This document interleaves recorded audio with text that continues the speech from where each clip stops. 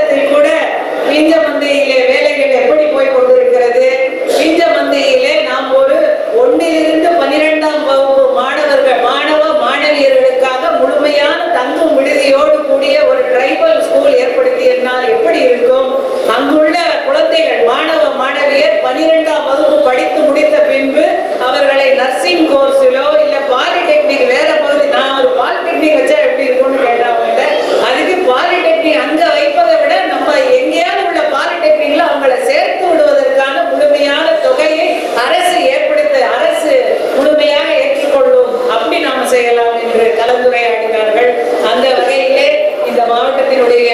வளர்ச்சிக்காக மக்களுடைய பணியிலே